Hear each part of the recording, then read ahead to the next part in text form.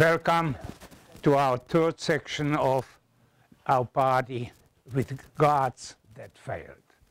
And uh, I will be discussing aspects of the last 400 years of disintegration of medieval society, of the religious order of Middle Ages, which was triggered by new scientific discoveries, disintegration of the social sphere, rebellions, industrial revolution. Upheaval never occurred in the history of mankind. Time where man was able to domesticate animals, plants, use new energies, not knowing what a havoc was going to follow.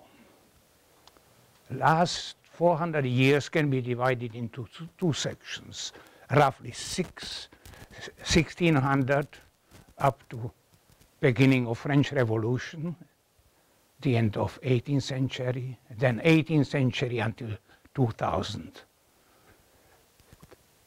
So we have lived in the last segment only. So we will be looking back. What was the end of 16th century? It was a time of upheaval. I will be discussing geopolitical events. One of the most important of all of these geopolitical events was defeat of Spanish Armada in 18, 1588. This was the victory of British people and their ascent to world power, to colonies, defeat of Spanish Armada, 1588. It was a great attempt of world power number one at that time of Spain to govern Northern Europe, Holland, and England as well. England defeated Spaniards 1888 and a year after in the second attempt of Spaniards again 89, 1589. This is a great era of ascent of British spirit. There were outstanding people Great Britain produced. Not only the Queen, Elizabeth, but in the field of arts, literature, Shakespeare, Marlowe, Francis Bacon, other poets, Milton. It is a great time of Great Britain. At the same time, there, it is accompanied by internal upheaval, civil war, Cromwell, kind of first serious disintegration of British traditional society by internal rebellion. Rebellion is based in religion. Medieval religious order of Roman Catholicism breaks down. It cannot be stopped. It is coming faster and faster. Hand in hand with that goes scientific and philosophical discoveries. They are produced by minority of population. It takes time before it becomes generally known one of the most serious attacks on medieval Christianity was victory of heliocentric system. Man responsible for heliocentric system is a high-ranking bishop of Roman Catholic Church, Copernicus.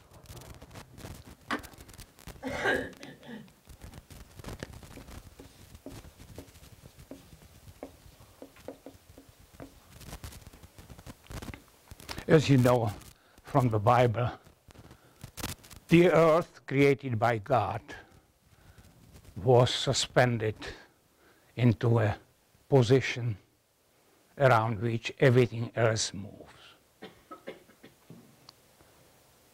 Corresponding astronomical system was produced by an Egyptian astronomer Ptolemy.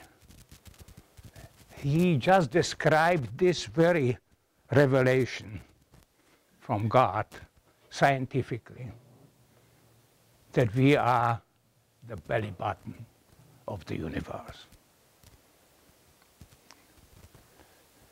As you know, the view is coming from our senses, from our belief in our perception. When we observe the world around us, we are in a solid place. Everything turns around us. So this is a generalization of common sense. Our religious view follows this generalization.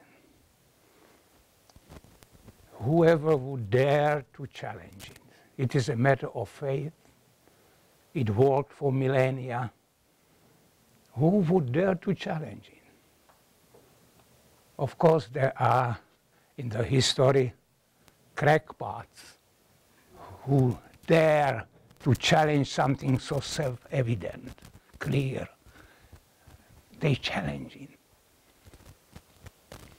Of course, the authority has a power to punish them. And all through the history, these crackpots were punished. Copernicus waited until the last day of his life to announce his conviction that we are moving around the sun. He wanted to be sure. He didn't like high temperatures. Those who followed him were less fortunate. And one of them died in the year 1600, Giordano Bruno.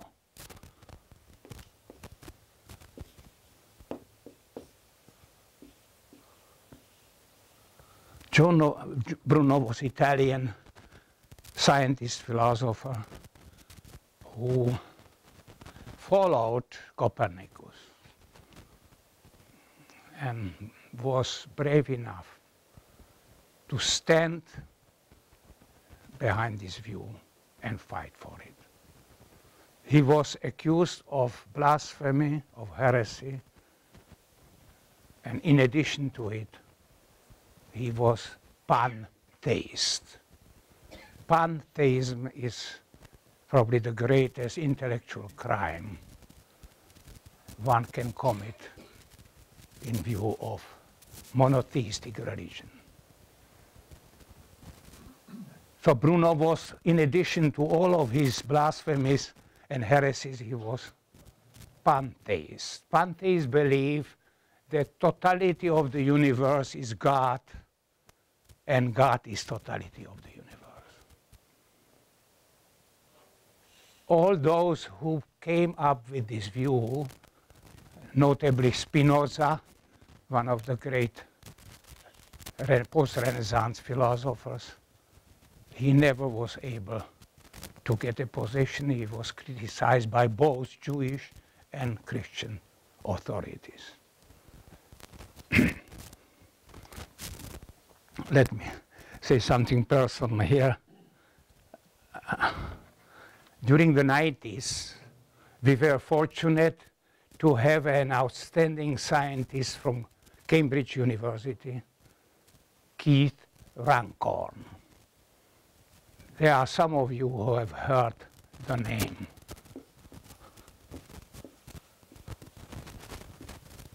Keith Runcorn. He became a distinguished professor in Geophysical Institute after serving many years in, on the faculty of Cambridge University. He was very colorful personality, uh, very important also in study of continental drifts, where he contributed scientifically to the theory of continental drift. At the beginning of 90s, I became, due to my son, a close friend of his. And he liked to talk about European science, European art, about Vienna. So we became very close. And we played, we played the ball, British ball, how do they call it? Squash. And I was not good in squash. He, he beat me up in squash. I had no chance. And he was kind of chubby guy, you know. You, you would not expect that he can be something like this, but he was chasing me. You know, I never played squash before. He introduced me into squash. I played tennis, and my arm was just too soft, you know. And so, so I, one day he came and told me he was appointed to papal commission in Rome to rehabilitate Galileo. I, I could not believe it, God. what is happening with the church, you know? And, but he had good connections, and he was member of the committee, and one of the very influential men was Cardinal Ratzinger, uh, today's former pope, who just retired. So he was deeply involved here. Galileo was one of the men who followed Copernicus and Bruno.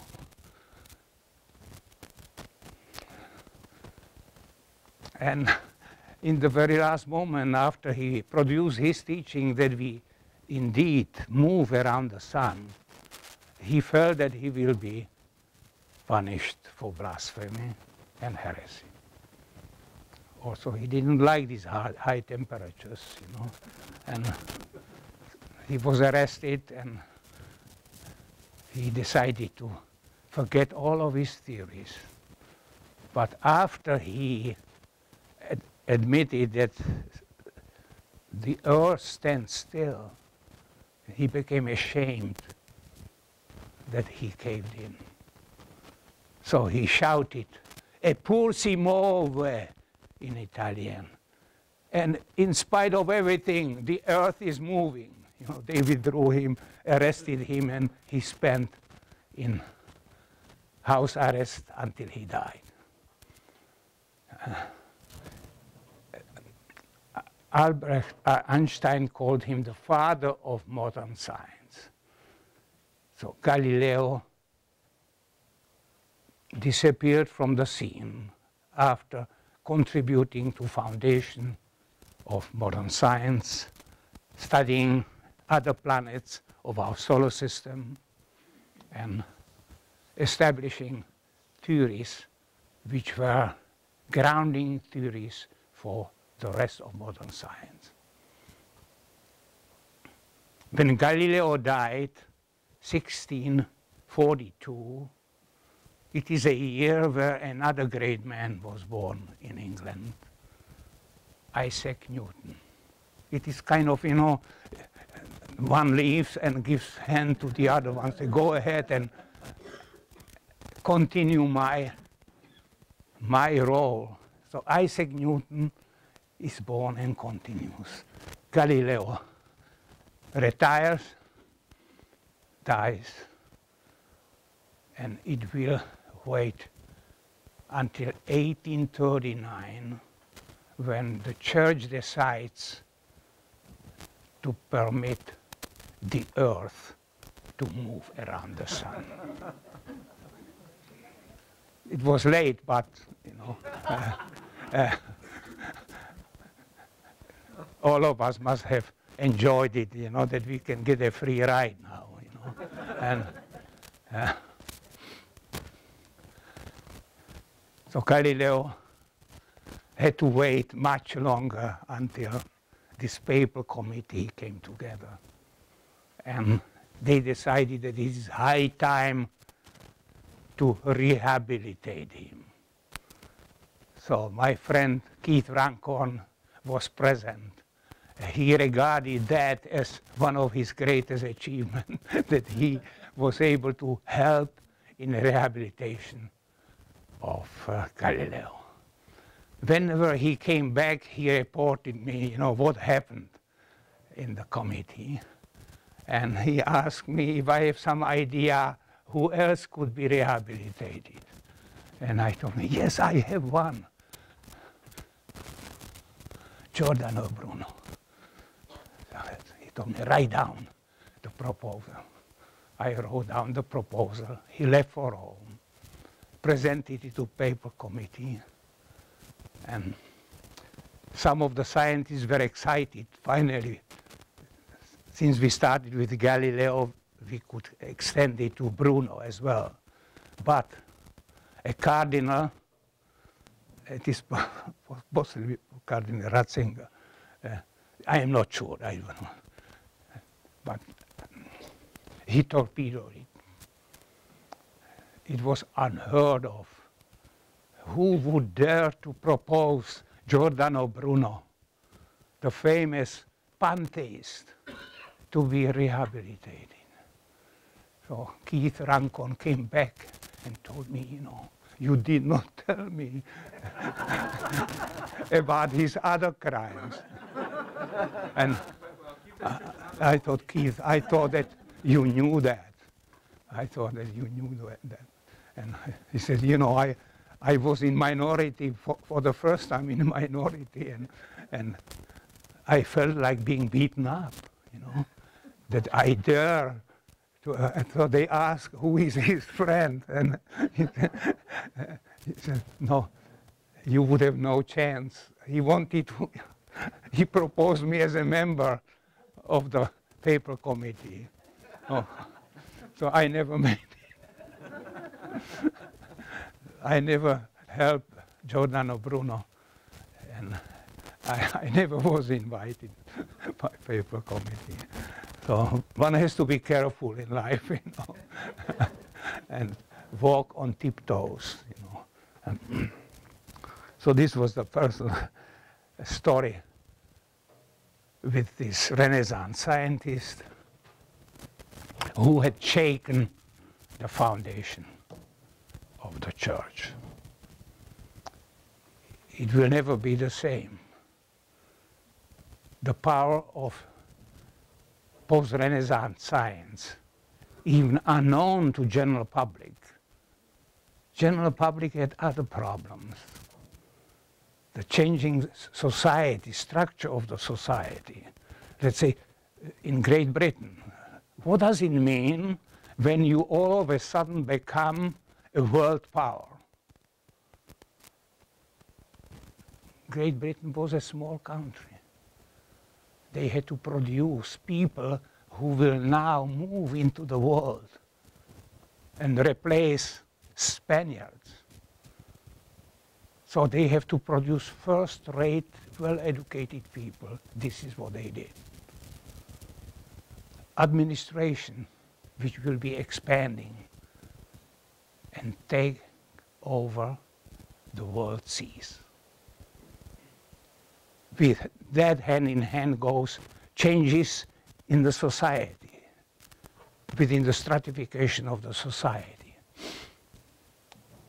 there is overnight horizontal mobility and vertical mobility. These are two concepts of modern assessment of the society that if you look at a given society in terms of social mobility,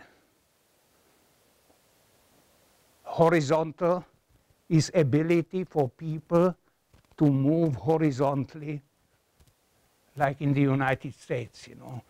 You are, you live in Miami, and you got, get upset with your dad. Your dad is too strict. You say goodbye. jumps on the plane, next day he's in Fairbanks, Alaska. That's horizontal mobility. No other society before had anything like this.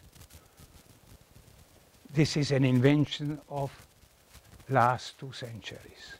But Great Britain started immediately, you know, after they became world power, their people started traveling. So horizontal mobility.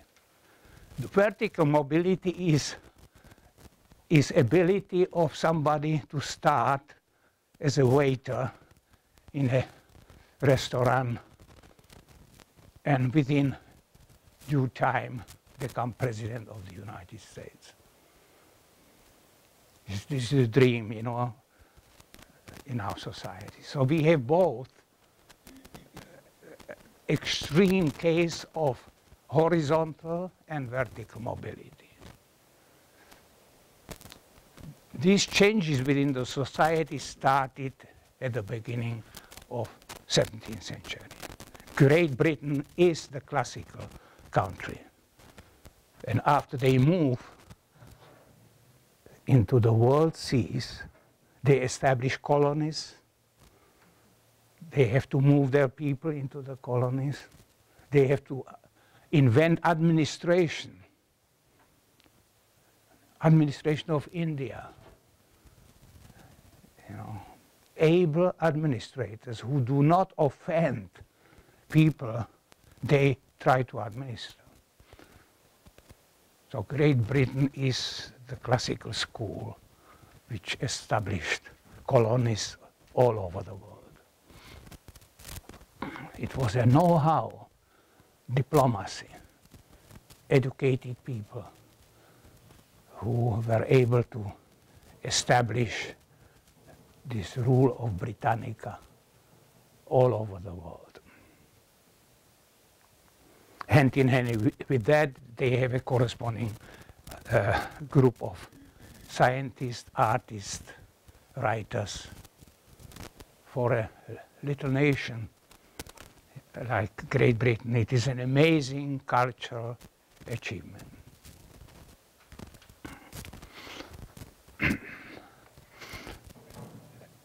At the same time, the Roman Catholic Church is trying to maintain their power, the old power in the old way. It is very difficult for a system like this to accept new ideas, to make a compromise, you know, with Galileo, because everything is based on faith and the people follow the church, pay taxes. If you look at the pictures now, when you see the beauties of Vatican, somebody had to pay for it. It was not cheap. It is collection of millennia when people paid taxes and send them to Rome. This very power of the church is in danger to continue. In order to maintain the power, they decided to liquidate everybody who will stand up against their power. It was liquidation of people, Giordano Bruno many others. 200 years before, it was a Czech reformer, Jan Hus, Jan Hus, at the beginning of 15th century. Whoever moved against the power of the church had to be destroyed. There was no room for dialogue, for compromise. So when it comes into 17th century, it is getting too late. Educational level is rising. New universities are producing critical people. I wouldn't say too many, but if you get just one out of thousand, That's a dynamite. And these people were produced by Western, West European universities. In all fields of human activities, you will find people who will be shaking the foundation of their respective fields, be it law, medicine, agriculture. Everything is in process of change. The church will not be able to stop it. Division within the church is division of Protestantism and Catholicism. As you remember, Constantinople disappeared as a leader of Eastern Church and continues in Moscow as Third Rome. Still, yeah. 2013. You know how many Catholics there are? Uh, yeah. 800 millions. 800 million Catholics all over the world. It represents tremendous power, also financial power. Yeah. You know, what is, what is in the consciousness of this 800 millions? We don't know. You know, there are many people who are Roman Catholics just because the family was Roman Catholic. They continue. Modern world creates a great challenge for all religions. Uh, this 800 million can be rather questionable, you know, as a real power. When you observe what is happening now in Rome, we will be having a new pope. It is a, an amazing show. Well dressed, you know, the colors and ev everything is amazing, you know, that we have something like this. Somebody has to pay for it. And as you can imagine, Italians don't have enough money to, to pay for, for this glory. The whole world, this 800 million people from Latin America, from everywhere, send money to Vatican.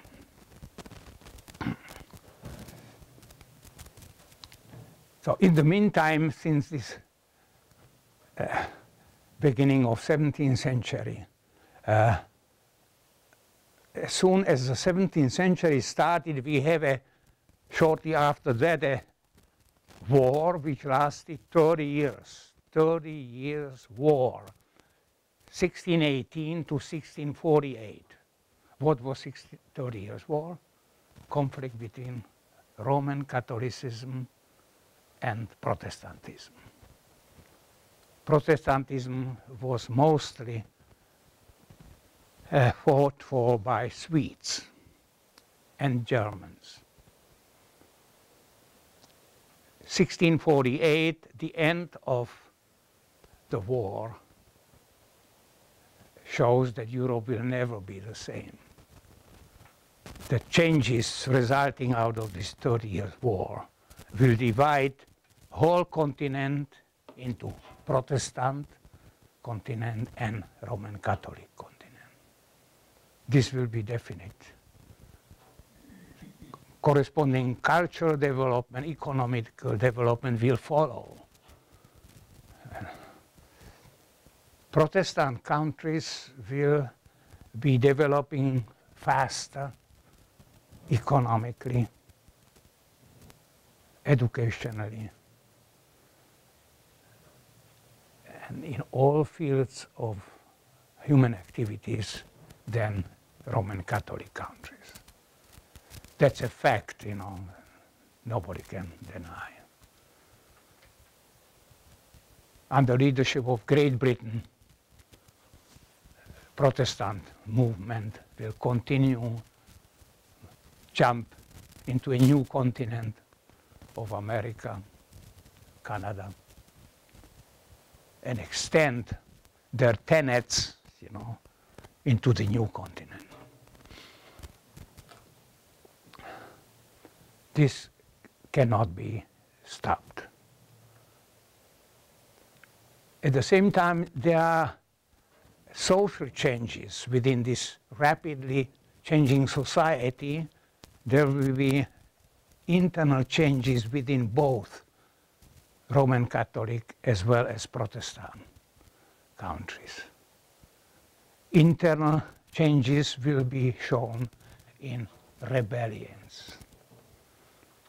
People dissatisfied with the way they live will protest. Cromwell in England. But all over the continent, we have rebellions. These are heroes of common man, Robin Hood. I remember when I was six years old, my grandmother showed me a cave where uh, Moravian Robin Hood lived. And he was my hero. And I heard stories from 17th century, how he was taking things from rich people, from aristocrats, and dividing them to poor people. So he was a great hero. And all nations all over Europe had their Robin Hoods. Stenka Razin in Russia, popular Russian Robin Hood. On the border of Moravia and Slovakia, there was Jánošík, who did the same. All of them did the same. They were stealing from rich people and dividing it to poor people.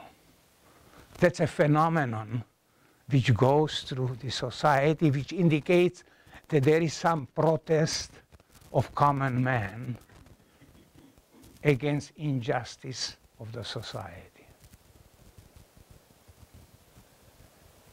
So all over Western world, we have these new heroes. And this is an indication. Hmm? In China too. In China too. Oh yeah. Yeah. So you see, this is a universal, universal expression mm -hmm. of human nature. These are messiahs. They are trusted by people. The authority is no more trusted. So it will go on and it cannot be stopped. And this is an indication that things will be changing more rapidly later on. None of these good doers, Robin Hood, uh, has a philosophy how to solve social problems. It is a hit and run solution. There is no ideology. Have you had these rebellions like Robin Hood in Japan? You had to. They were not, not samurais. We have some. This uh, true. Ro Japanese Robin Hoods. And they were subdividing, you know, what they stole from rich people to poor people. So it's a universal human trait. Don't wars accomplish the same thing sometimes? Yes, right. Yeah, uh, uh, wars are a result of something similar, you know, in organized way. The state can do it, you know. We, when we talk about Second World War, you know, and it is organized by state you know, when people feel that they are, you know, classical case is case of Germany after defeat during the First World War. You know, you never forget, you know, you were defeated. And, and now, uh, what follows is that you have to live with this defeat. The thing that strikes me is that Jesus said the same thing, take from the rich, give to the poor. Yeah, he was a Robin Hood too.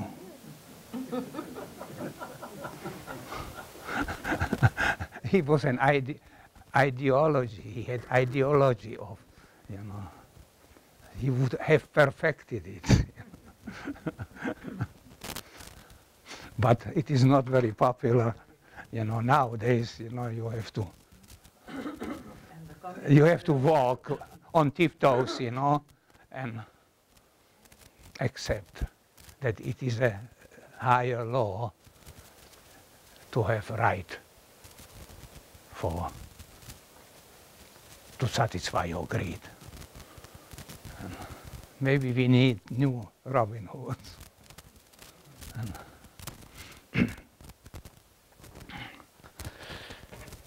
So, so this is a, a phenomenon which uh, goes through 16th, 17th century.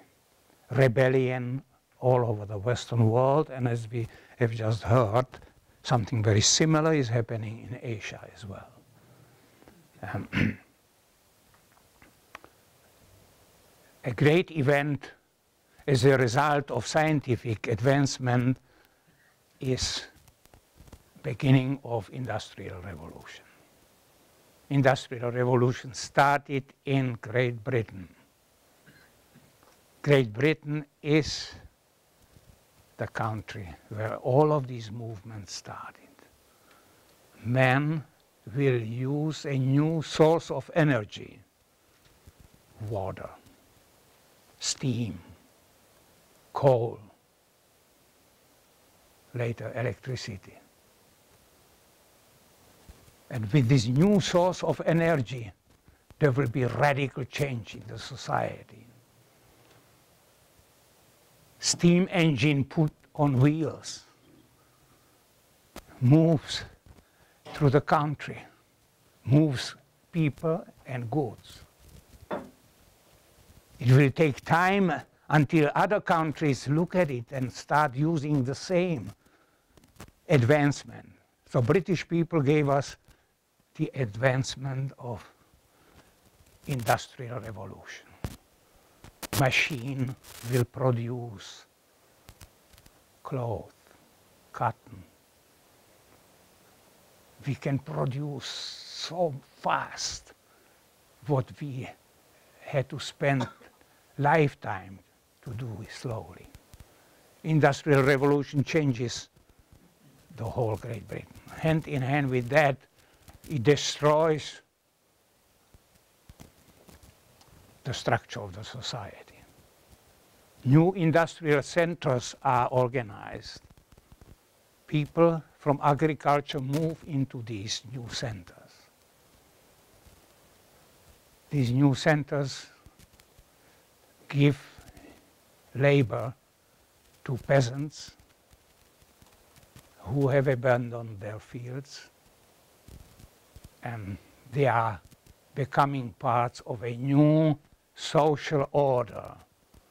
Males, females, children, are moving into these industrial centers where they are going to work 12, 14, 16 hours a day.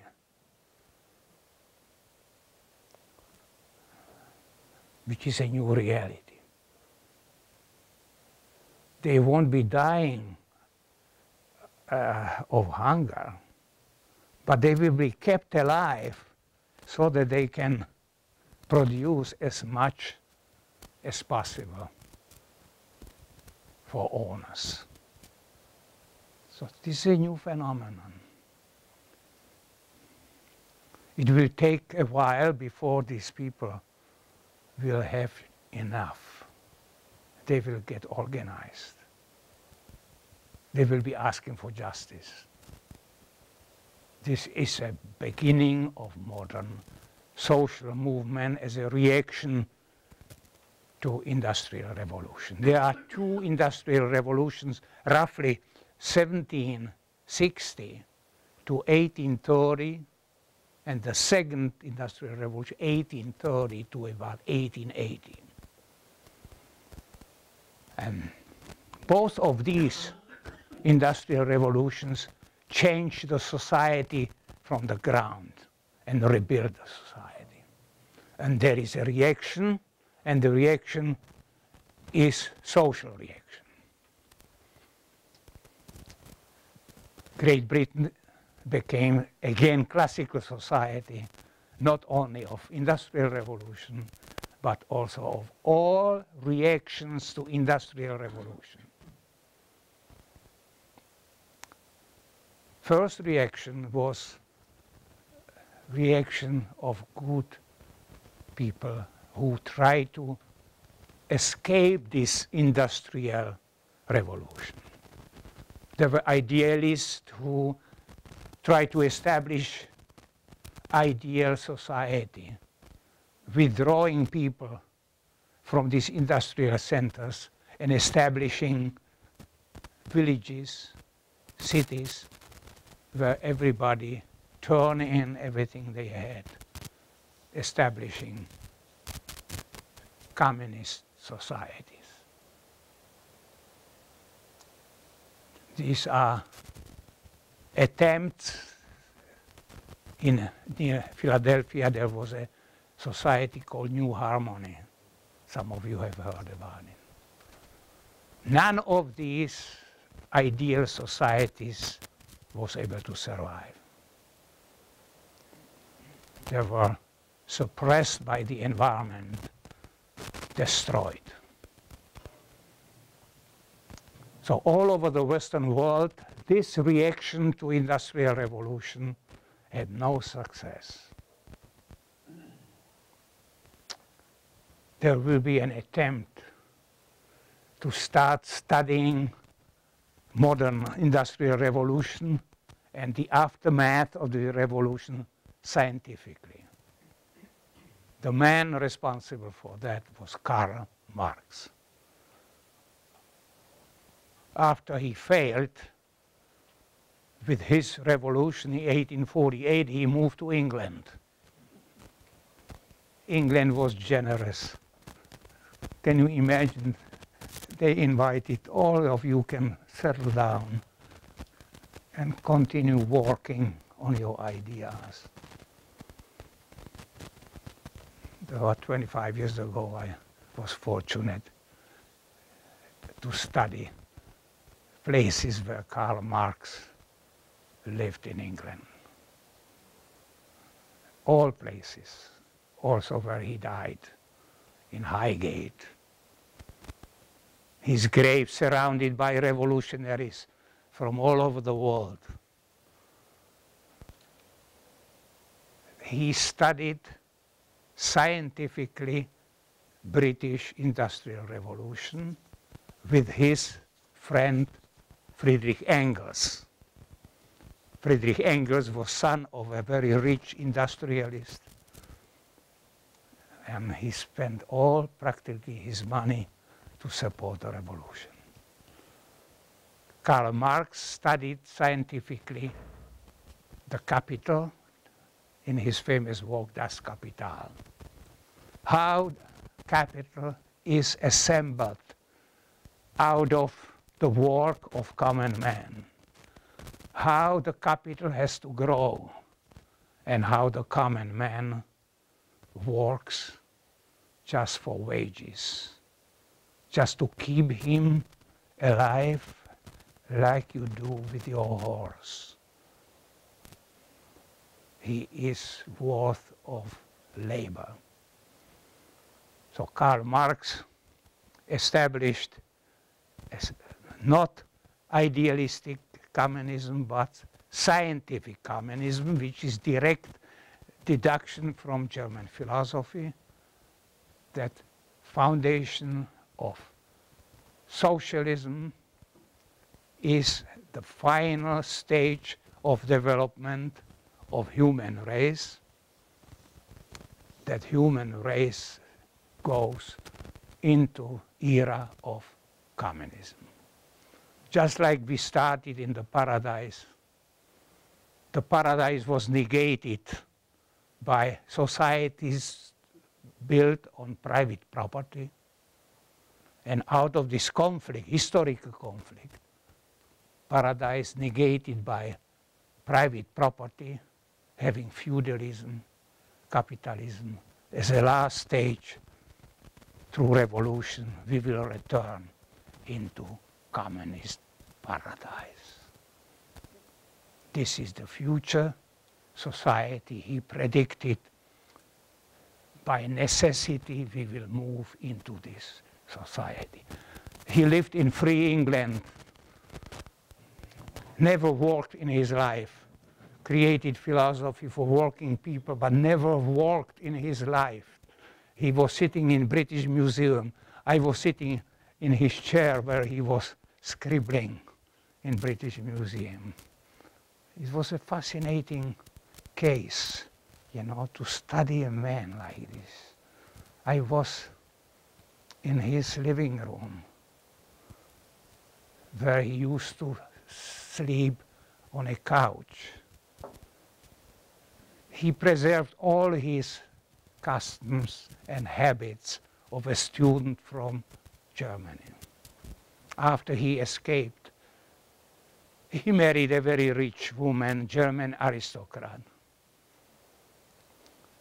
And he maintained all his habits, having friends, going with friends on Saturday to taverns and drinking heavily and fighting with British workers. I walked through these taverns too, and where Karl Marx used to fight with British workers. You know, British workers just did not follow uh, Karl Marx's revolutionary ideas. They did not listen to him. Karl Marx regarded them as being kind of uh, uneducated, you know, having no heart, not being able to go and, and organize a revolution. Yeah. But he also contradicted the church's belief of mankind, that man was basically good, whereas the church still maintains man is basically born, you know, Yes. evil. And so this is really the whole, you know, philosophical conflict that I think we are still. Yes, but, but uh, uh, in our experience, you know, this industrial revolution, you know, if you have uh, women working 14 hours a day with their children, you know, where is the conscience of good men? You see, the reaction to it was rebellion. We have to do something because they were satisfied, you know. Greedy man is never satisfied. Greed has no limit. You know, we are the only society which produced Wall Street. Yeah. Y- y- You know, Marx is a German philosopher. You know, his way of thinking, you know, was radical. He was member of radical school, post-Hegelian radical school. They were fighting religion, you know, and in a most radical ways. So after he wrote Communist Manifesto, for, uh, uh, 1948, Communist Manifesto was the manifesto which was expected to organize all uh, proletarians all over the world, but there were no proletarians in the world. they were only in England. You know, you need industry to a proletarian. Now, uh, uh, what happened with Karl Marx's ideas? The revolution did not take place in England, not even in Germany. It took place in Russia. Russia didn't have any proletarians. So they have to make them after the revolution. China didn't either. China didn't have either. So you see, it is a kind of phony uh, revolution, you know, which it should have never taken place in Russia. But Stalin said, so are we going to return the power and, and, and invite Tsar to come back? And no, we will start with revolution in our country. we will liquidate our, kulaks, owners, you know, and start uh, building without proletarians proletariat. It is a fiasco of human planning what happened. But Karl Marx had tremendous influence. Again, those who made a point against him, and something what is very little known in Anglo-Saxon world, were again British workers and British intellectuals. It is a part of British spirit that they don't believe in upheaval. If they can avoid an upheaval, they do. They believe in discussion and in slow progress. Something what makes most other people all over the world nervous, you know, when somebody says, let's wait, you know, just keep your horses under control, you know, don't, don't, don't push it too much. Be patient. So, in Great Britain, as a reply to Karl Marx, and Karl Marx could not succeed in England. He lived in England, he died in England. Revolutionaries from all over the world were coming to join Karl Marx. During his parties on Saturday, you know, he went through the taverns and fought with British workers, came home after midnight drunk, and slept in the middle of the room on a couch. His wife, the German aristocrat, was walking around the couch telling kids, Papa schläft, father sleeps. Karl Marx was drunk, he needed hours, you know, to sleep and to continue his revolution with his bodies. So this was this was Karl Marx, very talented man, you know, uh, but he could not succeed in England. He never worked in his life. He called his friend Engels. What about the money? I don't have any money to live on. So Engels sent the money. He, philosopher of labor, never labored. Yeah, he wrote books. Das Kapital three volumes, you know. And his, his job, if you can call it that, was just yeah, he was, he was, uh, he got a job in British Museum, yeah. but they fired him because his writing was not legible. and so. You should have gone to medical school. Yeah. uh, so Karl Marx uh, lived and died in England. And uh, his work was disseminated all over the world. in the meantime, British nation, British worker, and British intellect made an answer to Marxism.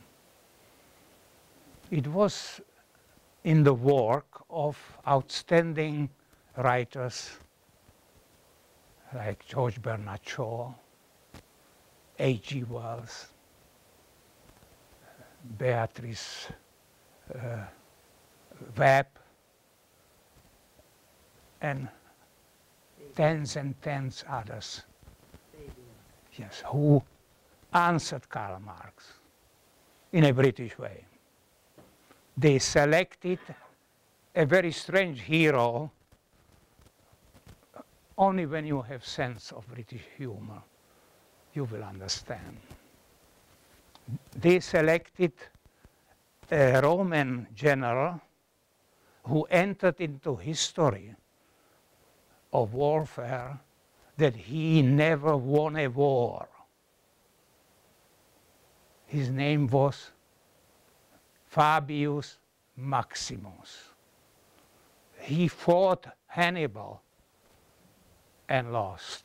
He never won a war. So if you want to be a general who never won a war, so British decided we will call ourselves Fabians after this general Fabius Maximus.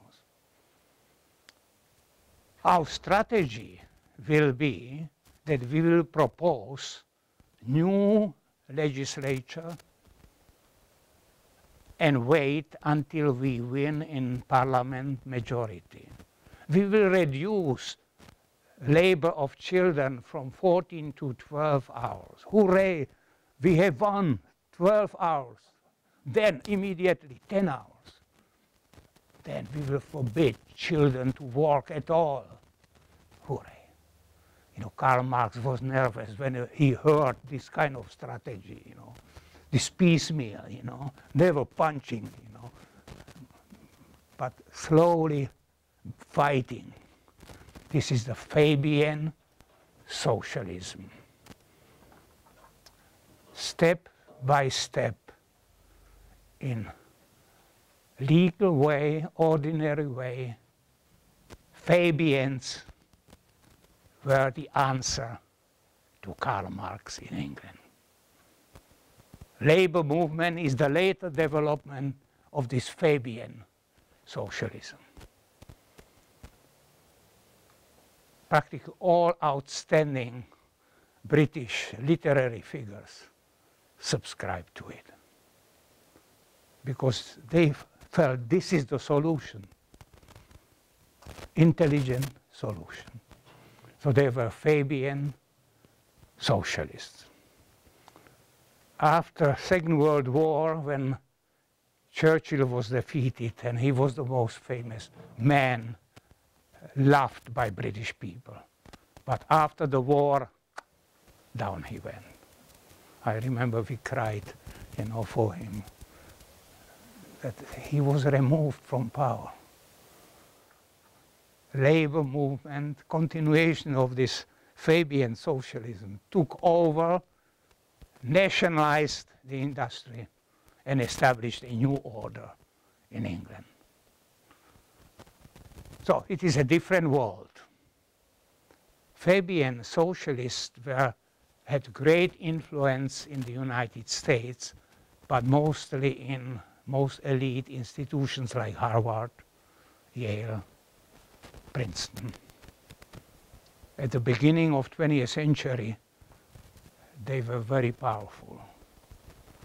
And, but they did not succeed because the conditions in the United States was different. Have you heard the name Frances Farmer? From Seattle.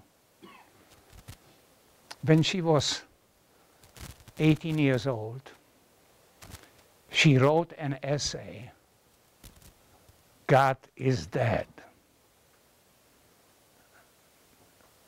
Who picked up her essay was Soviet government and invited Frances Farmer to come to Moscow. 18 years old girl, excited, never traveled, you know, uh, to Canada. Now she, she, goes to Moscow, you know, and, and they celebrate her, you know, for her essay, God is dead. She returned back with a stamp, you know, from Soviet Union that she was a communist. Very talented actress. She went to Hollywood and caused a lot of problems. Very outspoken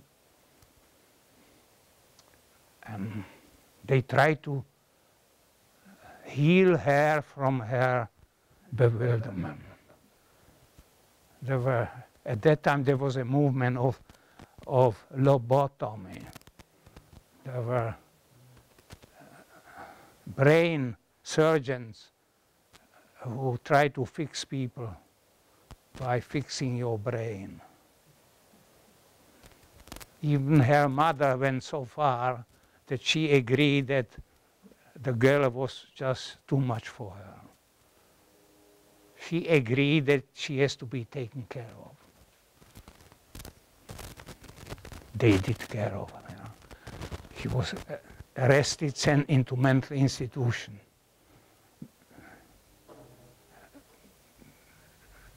She was given lobotomy and destroyed. One of the most talented actresses was destroyed as a human being. There is a film made about her, and the actress Stone plays Frances Farmer in this film. Stone. Frances Farmer. Yeah. So the movement she was part of was in Seattle, Tacoma. It was closely connected with labor movement and organized labor movement in the United States. Uh, United States did not have the same conditions as Great Britain. So this Fabian socialism was never able to get fully organized in the United States. American labor movement uh, took an example from American cartels. Industrial organization is model for labor organization. So people will be fighting as a labor exactly just like they fight. Same principles. We will not be connected with any movement in the world. Not even with this British uh, Fabian movement. So it never became a strong movement. And during the McCarthy era, it was declared that it is even worse than communism. Know, that this type of socialism, socialism is worse than communism. It, it's a completely uh, screwed up way of thinking, but this is, you know, what we have had when we were fighting communism. People who didn't know anything about anything were leading our country. And nobody was able to stop them until they ran their course. And then next generation come and continues. It was battle against the movement of people who just wanted to improve their everyday life, who asked for justice. Great Britain is the classical country which made it possible. They created the most civilized society which believes in dialogue. Even you can be upset with their behavior in their parliament when they are shouting, but you know this is good natured, you know. when, when you jump on and start shouting, and, but everybody has right, you know, to do it. And at the end, it is compromise. Compromise is not a dirty word, you know.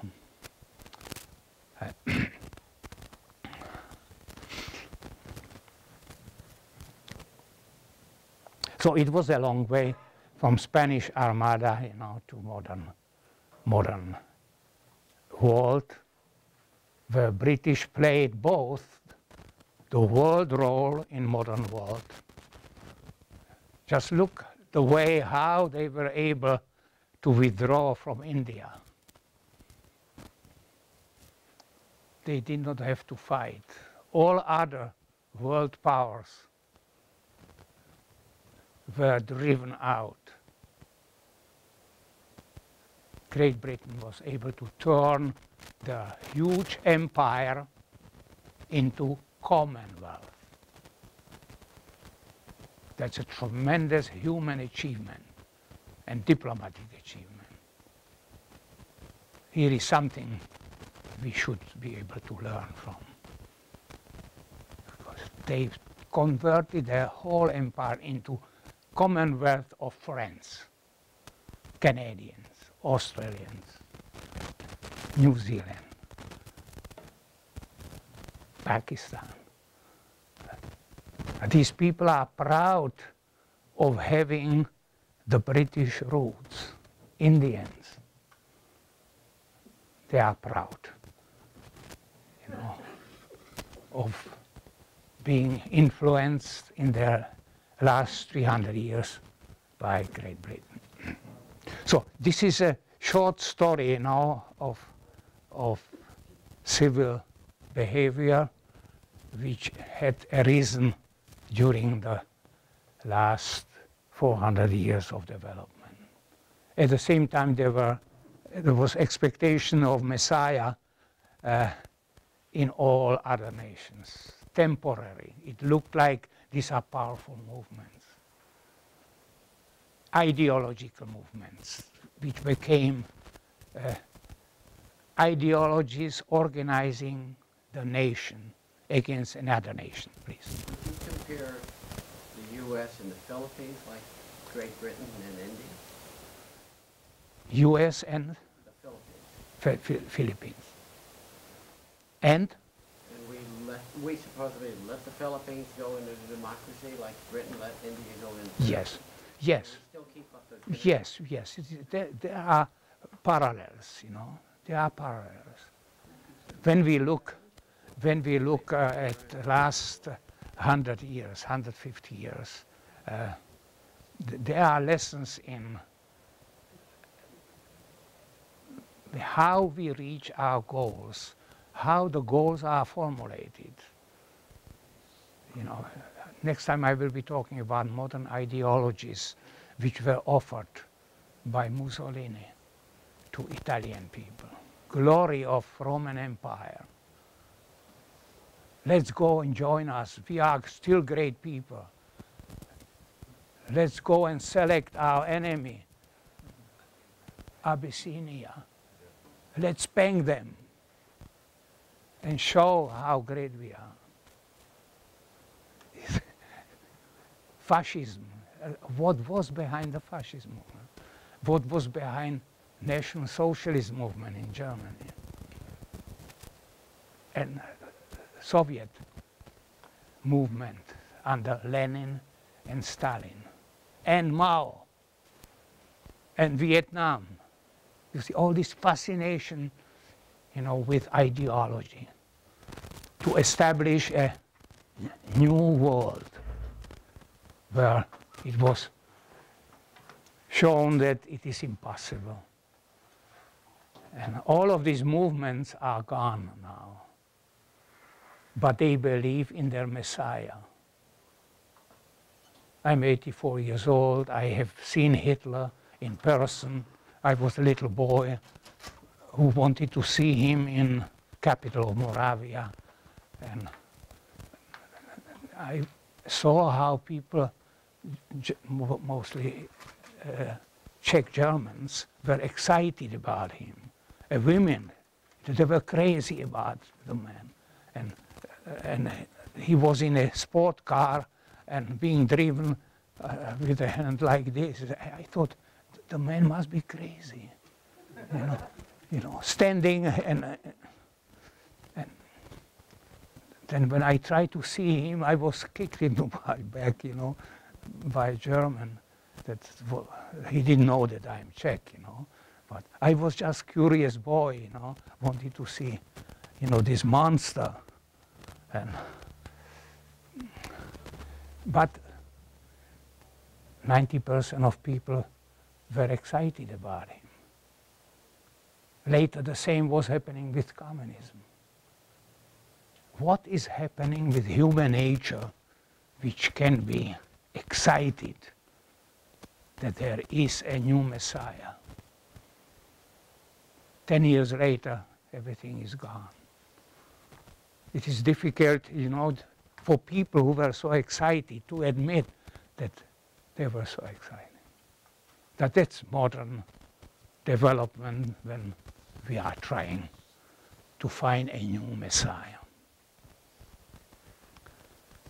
Human nature will remain probably unchanged.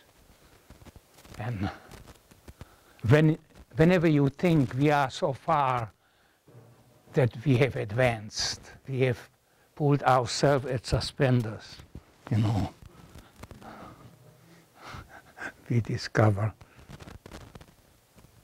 the suspend suspenders did not move us upwards. We only believe that we have succeeded. So human nature probably will never decipher itself what it is. I'm a pessimist. and, uh, and will never able to to pull oneself at suspenders and keep on walking, you know. And uh, I'm a pessimist here again. And uh, after a long life you have lived, I have seen so many upheavals, so many excitements that uh, I doubt, you know, we can find a new paradise. What do you think about the thing in Venezuela with Hugo Chavez? Yes. Talking about making a memorial and leaving him on display. Yes, just like Lenin, yeah. Yes, yeah. But, you know, I am surprised, I, I'm not surprised to see, you know, what, what he did for his people. He was a Venezuelan messiah. You know, he tried to do many good things. He sent free oil, you know, to Massachusetts. And yeah. yes, But I and think, I think he was un, he's been unjustly demonized. He did a lot, and yes, yeah, yeah, true, but still, you know. uh, you know, Lenin was a good chess player. and and Can I many ask a question? Hmm? I, I wonder how Marx explained himself to himself That's a mistake. that he actually lived on the capital that Engels made Yeah. on the, from the workers. you know, he did not think about the implications, you know. Marx lived out of money of his friend Friedrich Engels. Friedrich Engels. He was nasty, you know, reminding me, no, it is first of the month, no money here. What do you think, you know? How can I live? High time you, send it. he was a nasty SOB. but he, he was used to it. And he lived his life this way, a great prophet with very little self-criticism. Great Britain did not teach him that. You know, it was amazing that Great Britain did not touch him at all. He did not learn the lesson from his British workers. And it- when I see the, these taverns, they have not changed. British workers are coming into the same taverns as they did 150 years ago, you know. And when you are in these taverns, and I imagine Karl Marx with his group, he never went alone, you know. he never went alone. Always five, six people, you know. Probably never paid. Yes.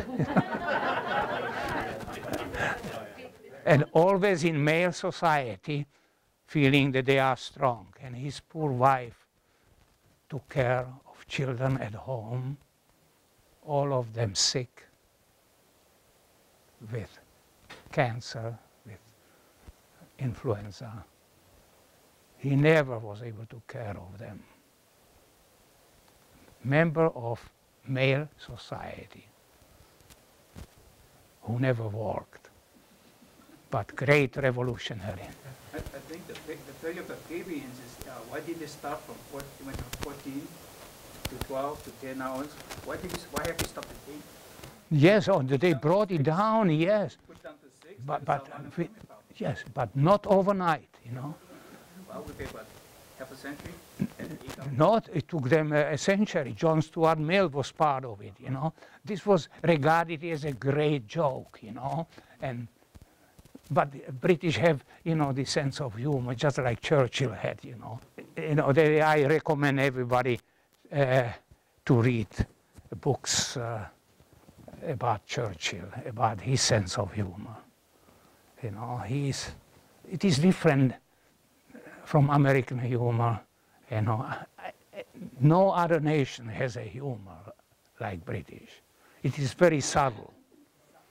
You know, I, I made some of these jokes here. I, I have a friend who died recently, one of the greatest lawyers in Alaska, Eugene